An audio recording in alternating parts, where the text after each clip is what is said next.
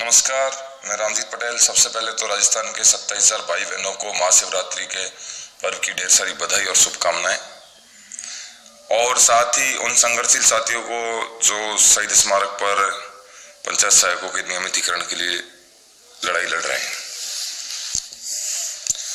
एक बात तो तय हो गई कि राजस्थान विद्यार्थी मित्र पंचायत सहायक संघ पिछहत्तर दिन के धरने में दिवाली गोवर्धन भाई दूज मनाया। उसके बाद में लगातार जो त्योहार मनाने का सिलसिला है, वो सरकार के सामने है। जयपुर में मना रहा है। बड़े दुख की बात है कि राजस्थान का सत्ताईस हज़ार भाई बहन अपने त्योहारों को छोड़कर जयपुर की तरह पर त्योहार मनाने लग गया है। खैर, अब आते हैं मुद्दे की बात पर। पिछहत्तर दिन के धरने में भी मैं एक चीज़ कहता था कि राजस्थान का तमाम सत्ताईस हज़ार भाई बहन प्रदेश अध्यक्ष और प्रदेश संयोजक है। क्योंकि जब मैंने ये लड़ाई शुरू की थी, जब इसमें सुन में आया था तो अजमेर के भाई किशोर यादव जी को आप पूछ सकते हैं। जब दांडी यात्रा अजमेर से लेकर आए थे कार्यकाल वृद्धि के लिए शहीद स्मारक पे तो प्रवीण अग्रवाल, वहाँ के जिलाध्यक्ष थे अजमेर के। उनके नेतृत्व में किशोर जी यादव और बलवीर जी भाई, इनके नेतृत्व में पुखरा जी टाकर अजमेर की पूरी टीम, रसूल भाई और लेखरा, लेखपाल भाई, ये सब लोगों की टीम आई थी।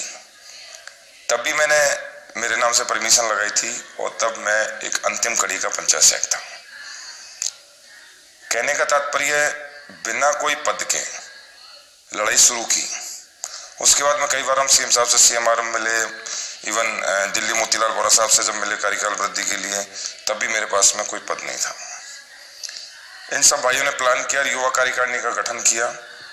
ये खेमचंद भाई, ललिता जी और राजकुमार भाई, जयपुर के राजेश भाई, ये सब लोग साथ रहते थे। तो इन सबने और अजमेर वाली पूरी टीम सबने युवा कार्यकारिणी गठन करके मुझे प्रदेश अध्यक्ष बनाया।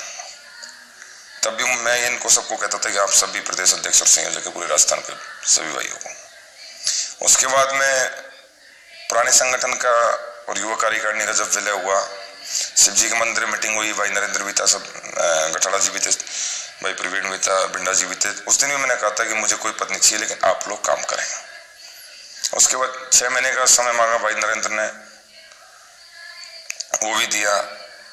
उनकी उदासीनता रही, चलो कोई बात नहीं, व्यक्ति के काम हो सकते हैं। उसके बाद भी जब नेक्स्ट मीटिंग हुई बलवान पुनिया साहब के, वहाँ पे, वहाँ भी मैंने पद के लिए मना किया। मुझे सभी भाइयों ने ज़बरदस्ती निर्विरोध मेरे सामने संयोजक का कोई उम्मीदवार भी नहीं था। निर्विरोध उन सभी भाइयों ने हाथ खड़ा करके संयोजक का पद मुझे दिया। फिर भी मैं कहता हूँ, मैं आज भी अपने आप को संयोजक नहीं मानता, अंतिम कड़ी का पंचायत मानता हूँ। मैं मानता हूँ कि मैं मेरे पेट के लिए संघर्ष कर रहा हूँ सत्ता जिससे सत्ताईस हज़ारों का भला हो सके। उसी जिद के पीछे, मैंने एक प्रण किया है कि राजस्थान के सत्ताईस हज़ार पंचायत सहायक भाई बहनों का कभी भी कुटारघात नहीं होने दिया जाएगा।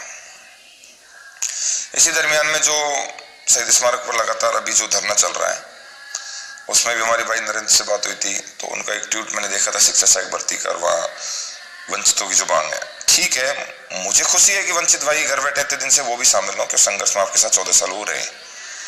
मुझे कोई आपत्ति नहीं है। नगर पालिका वाले भाई हमारे साथ रहे, वो भी वापस ज्वाइन करें। वंचित भाई हैं, वो भी वापस ज्वाइन करें।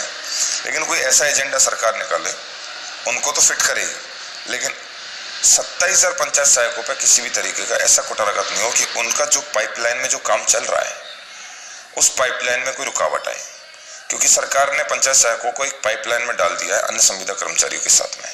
जैसा कि मुख्यमंत्री जी महोदय ने बताया सीएमआर में भी जो हाल ही में मुलाकात हुई है दो दिन पहले।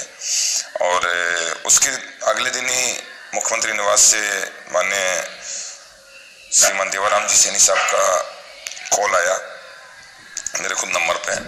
उन्होंने भी ये बताया कि आपको इस तरीके से सेट कर रहे हैं। मैं मानता हूँ कि सरकार सकारात्मक है, पॉजिटिव है, अपना काम हो रहा है।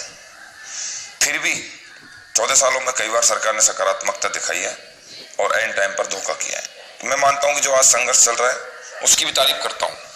और राजस्थान के सत्ताईस हज़ार भाई बहनों को एक संदेश दे रहा हूँ, किसी को लगता है कि यार अपना काम नहीं हो रहा है तो संघर्ष के मैदान में चाहे किसी को लगता है कि यार अपना काम हो रहा है, वो भी संघर्ष के मैदान में चाहे या घर रहे, ये उसका विवेक है। किसी भी तरीके से कार्यकारिणी को दोष नहीं देना क्यों? कार्यकारिणी एक सिस्टम से काम कर रही है स्ट्रेटेजी से काम कर रही है प्लानिंग से काम कर रही है। कि कब कौन से काम को, कौन सी गति देनी है?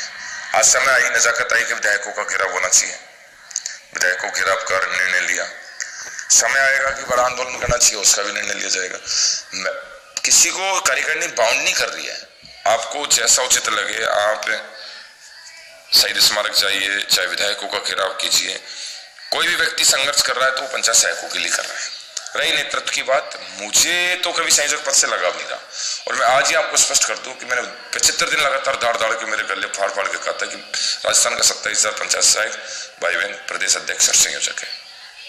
तो ये तो स्पष्ट पद की तो बात। अभी तो चार दिन पहले जब नरेंद्र भाई गटड़ा जी सावण जी, हम भिंडा जी, प्रवीण भाई, दिनेश भाई बैठे थे तो मैं उस दिन भी कहा था कि संयोजक पद से मुझे कोई ऐसा नहीं है कि संयोजक पद आप देवें और मुझे हज़ारों गालियाँ दें, ग्रुपों में मैं काम भी करूँ। हम लोग मिलके भाग दौड़ करके काम भी करें। दिल्ली भगे, चाहे जयपुर भगे, घर परिवार को समय नहीं दे पा रहे हैं तो उसका मतलब ये नहीं कि संयोजक बना दिए तो गाली सुने। लोग कहते हैं कि आप संयोजक हैं, आपको सुननी पड़ेगी। अरे भाई, आपको संयोजक बना दे आप सुनो ना गाली। जो भी नेतृत्व कर रहे हैं, जो भी आंदोलन कर रहे हैं, अपन सबके हित में हो रहा है। जहाँ भी कर रहे हैं, जिस भी तरीके से कर रहे हैं, मांग एक है। अपनी कोई ज़मीन नहीं बट रही है। मांग एक है। मांग में भरपूर सहयोग करें। चाहे उसका नेतृत्व भाई प्रवीण कर रहे हैं, चाहे भाई नरेंद्र करे चाहे कोई और भाई करे, अपन को ये चीज़ नहीं देखनी चाहिए। शिवरात्रि का त्योहार है, और ये चीज़ में यू मान लीजिए मंदिर में से बात कर रहा हूँ।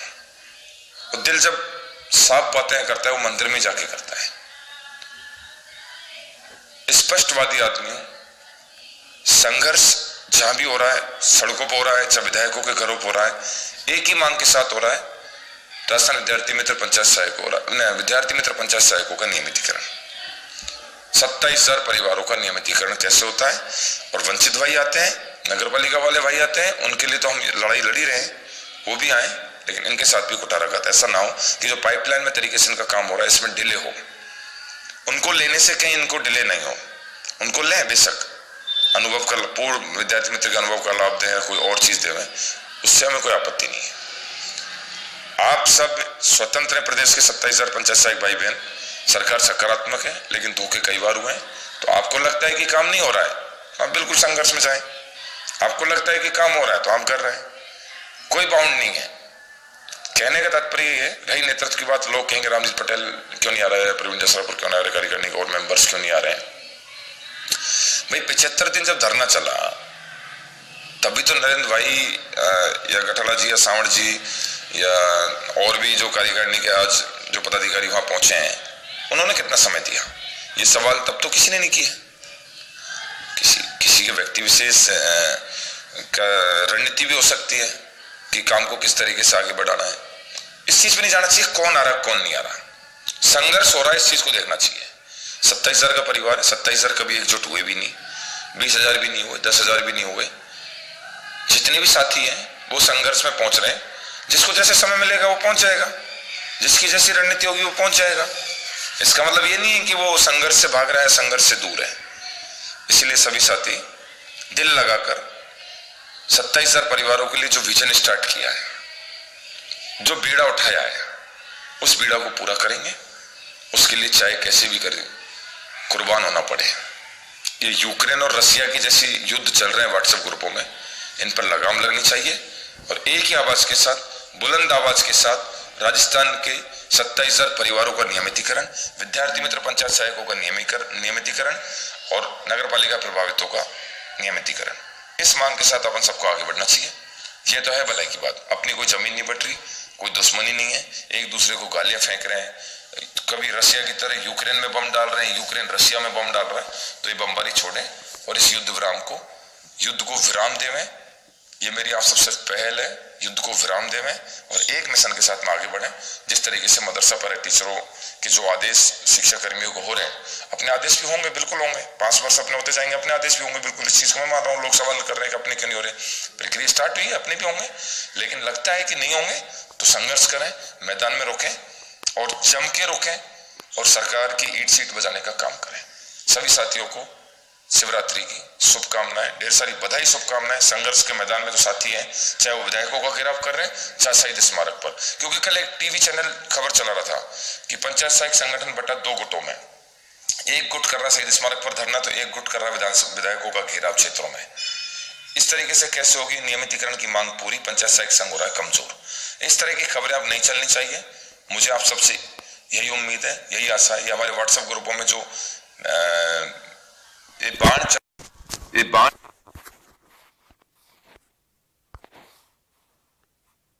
बाण चल रहे हैं। गगन वेदी बाणों को रोकना चाहिए। हम सबको एक जाजम पर मिलके इस लड़ाई को जीतना चाहिए। जिसकी जैसी मर्ज़ी, चाहे विधायक का गिराव करे, चाहे शहीद स्मारक पहुँचे। ये आपका निर्णय लेकिन युद्ध विराम होना चाहिए। यूक्रेन और रशिया की तरह बमबारी को रोकें और दिल पर हाथ रख के अपने पेट के लिए, नियमितीकरण के लिए लड़ें। उल्टे सीधे ऑडियो वीडियो रिकॉर्ड करके ये सब बातों को रोकना चाहिए। रामजीत पटेल, संयोजक, राजस्थान विद्यार्थी मित्र, पंचायत संघ।